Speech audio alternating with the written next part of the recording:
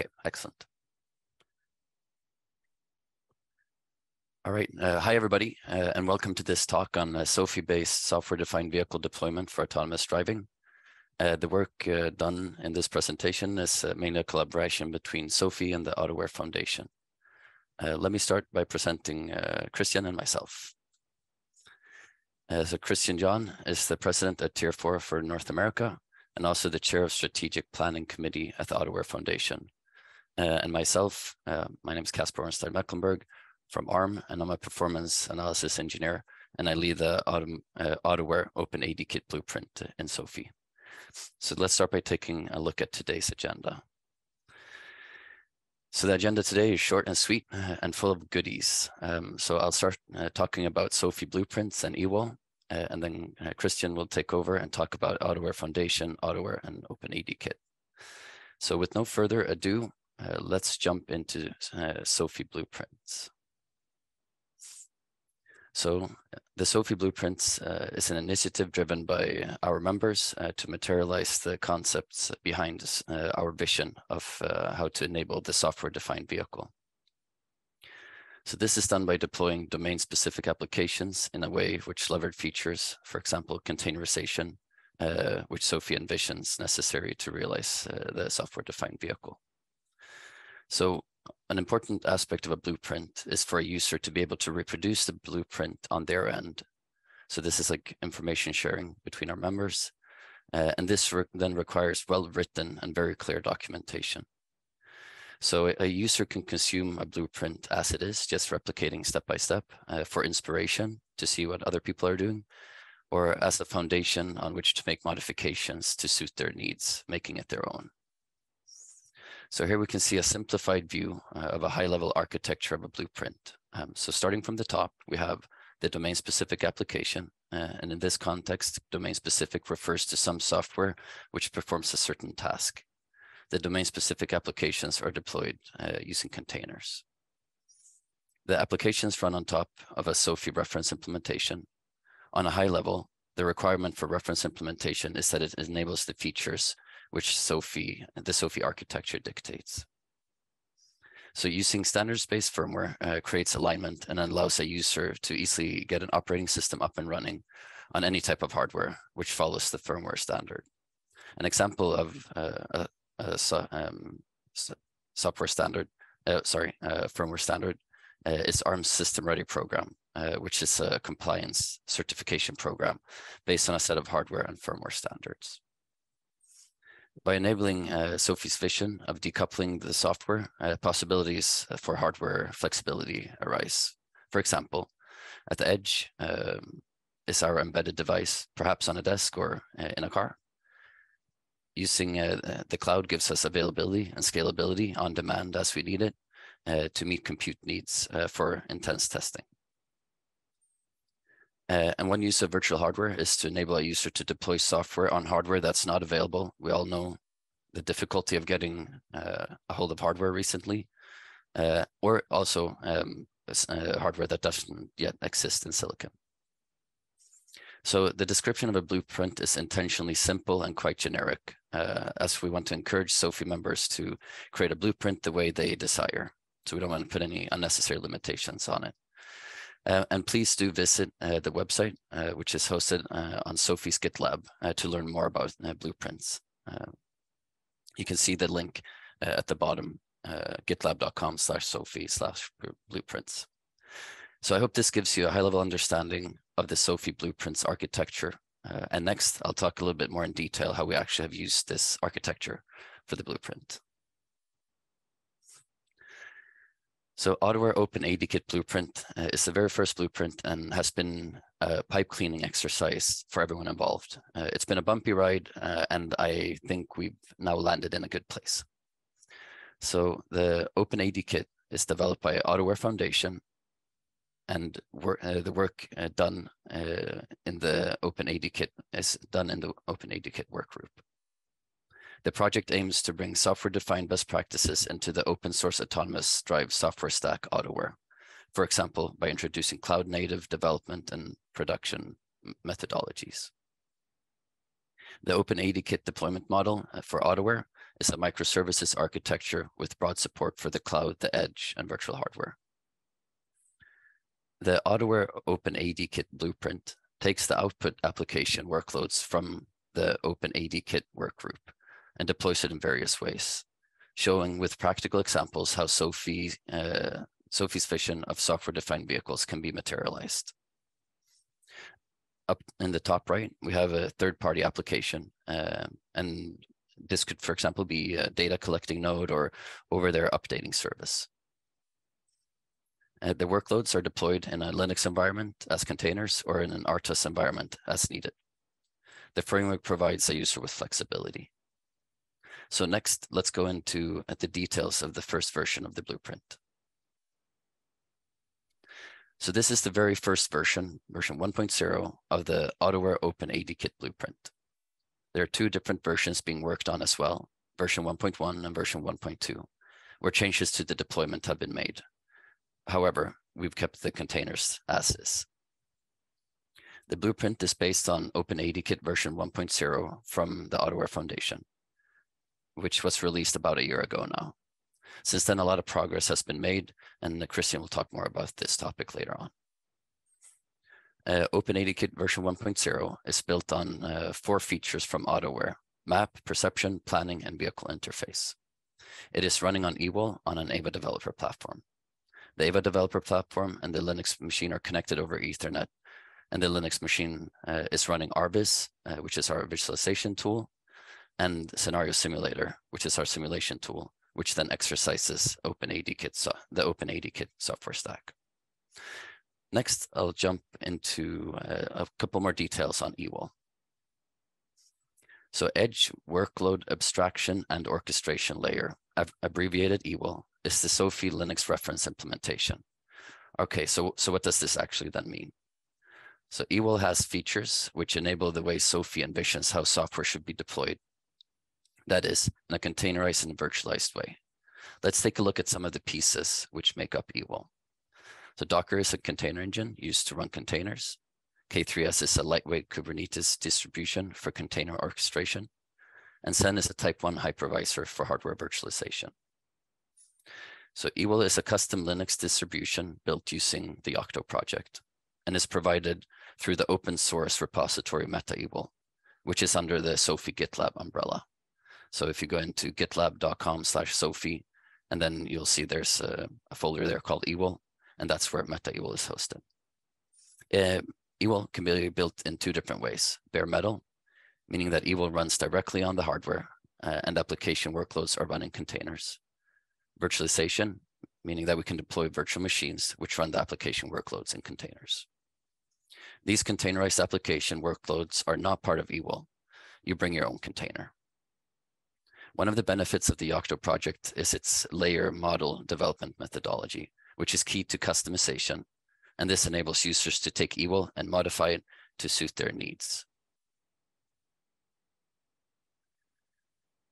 So in this blueprint, we deployed EWAOL uh, at the edge on an Ava developer platform. Uh, and EWAOL has already been deployed uh, in the cloud and on AWS Graviton instance in other contexts. However, this hasn't been implemented in the blueprint yet.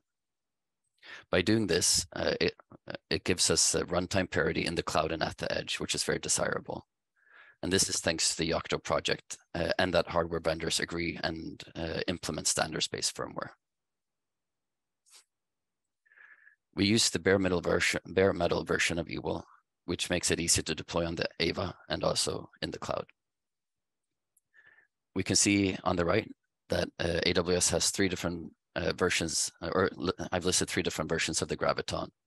Uh, C6G, which is the Neoverse N1 core, which is the same core as the Ava developer platform.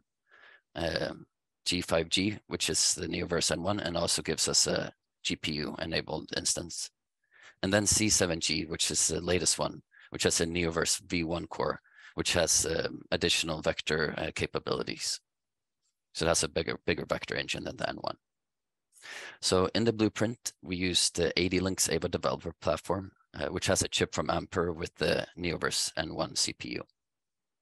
It's uh, like a desktop developer machine with PCIe slots for acceleration, and it's really useful for prototyping. I'll now hand over to uh, Christian, who will talk uh, uh more about the autonomous drive application workload, AutoWare and OpenAD Kit. Over to you, Christian. Thanks, Kasper. Next slide. Thanks. Um, so just to start first with an overview of AutoWare, um, this is an open source project managed by the AutoWare Foundation. It's a complete autonomous driving software stack built on top of ROS 2 and openly uh, licensed under the Apache 2.0 framework. Um, it's a very modular architecture. Um, so the, the different components of the autonomy stack, uh, perception, planning, control, well-defined modules, APIs, built on ROS 2. So it really lends itself very well for a microservices type architecture. Um, there's some useful links here about how to get started with AutoWare and OpenAD Kit. Uh, we lost the slides, Kasper. Thanks. Um, going on to the next slide. Um, just, just to give you an example of the types of uh, vehicles that AutoWare has been integrated, there's actually hundreds of projects uh, around the world that are already using AutoWare um, in various vehicle configurations, whether it's uh, sort of small form factor mobility as a service shuttles, full-size buses, passenger vehicles, um, the the flexibility of AutoWare is is um, you know the the modularity, the ability to adapt it and integrate it into different vehicles, the the ability to modify the the functionality within the different modules, whether it's perception, planning, or control for the particular environment that the vehicle is operating in. These are kind of all the strengths of of uh, the the AutoWare open source project that have allowed it to be adapted, integrated into so many different vehicle configurations, and deployed in, in different operational design domains around the world.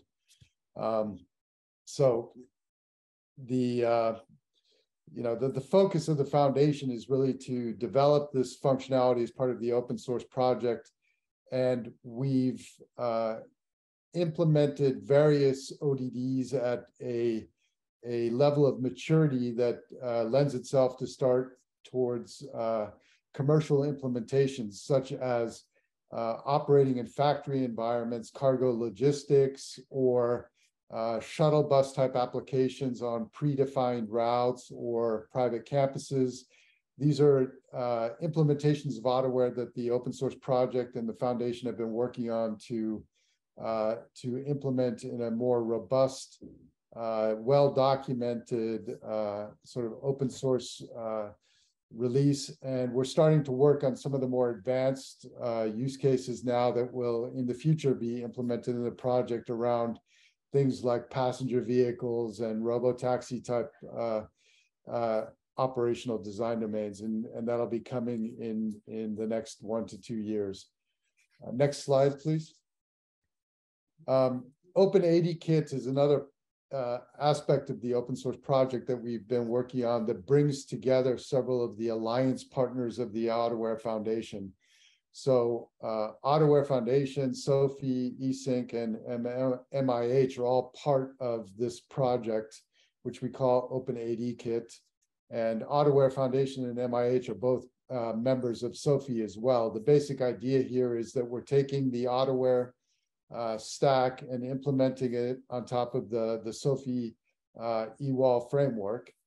Um, working with eSync, we are integrating their service as another sort of workload application within the framework and using that to do the uh, management and updates of the uh, AutoWare application. And then in the context of MIH, where the, the focus there is to define an open EV platform and, and really define the specifications around the EEA and, and how the AD and ADAS application software interfaces with all of the other uh, components of the vehicle, whether it's the sensors or central gateway, control plane, data plane functionality, infotainment system, and so on. All of these APIs are being defined uh, within the MIH work groups. And then implemented as part of the AutoWare stack so that companies can start to use the Open AD kit as an out of the box uh, ready solution for implementing against the MIH specifications. Next slide, please. So where we are with the Open AD kit today, um, as Kasper mentioned, we've uh, released the 1.0 framework for Open AD kit, where in, in this release, what we've accomplished is we've implemented AutoWare within a, a container on top of EWAOL, integrated with the eSync OTA agent as another application uh, within the framework. And we've demonstrated uh, ISA level parity between running this framework in the cloud on an AWS Graviton instance and then at the edge on an Ava developer platform. But this is not really yet a real microservices architecture. Um, this is the entire uh, AutoWare application running in one container. So there's still a lot of work to to do um, to to get this more towards uh, the the true vision of what a, a, automotive workload looks like as a microservices uh, uh, application in in SOAFEE. So next slide the the work that we're doing forward now, uh, going forward now, is really looking at how do we take this uh, implementation of AutoWare, take these modules, uh, which, as I said, are really uh, already kind of set up well in in a ROS two uh, uh, microservices type architecture, partition those into separate containers, and and then implement that on top of the EWAOL framework. Also bringing in the the capabilities that are coming in the in the releases of SOAFEE in the next year around uh, hypervisor and hardware abstraction layers so that we can build on top of heterogeneous compute platforms where there will be safety islands where uh, a safety capable MCU is integrated with high compute solutions such as GPU, CPU, uh, dedicated acceleration logic for things like the perception and localization uh, functionality and making this all part of the open AD kit framework. And, and you'll see more from the AutoWare Foundation on our plans to, to implement this on top of SOAFEE in, in the coming months. Next slide, please.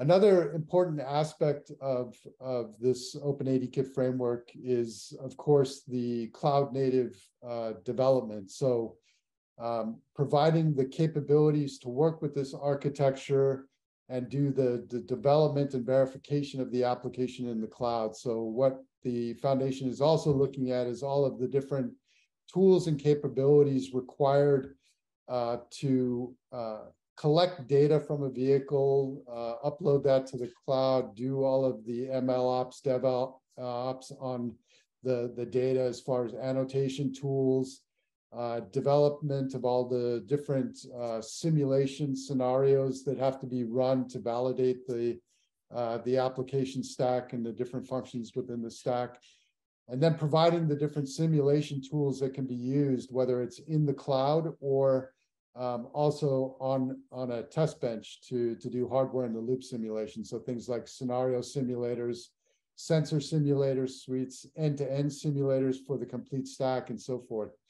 And then once the uh, validation has been done in the cloud, providing the OTA capability through things like adding in the eSync client service uh, to do the updates to the vehicle and then uh, start this whole process again of collecting more data and uploading it and, and uh, validating the, the new functionality that gets developed. So I hope that gives you a pretty uh, good idea of uh, AutoWare and, and the work that we're doing in the foundation around Open AD Kit. And uh, hand it back to you, Robert. Okay, thanks, CJ and Kasper. Um, as Kasper said, this is the first uh, blueprint, and we we believe this is going to be really useful for people kind of getting involved with SOAFEE and being able to get to use SOAFEE.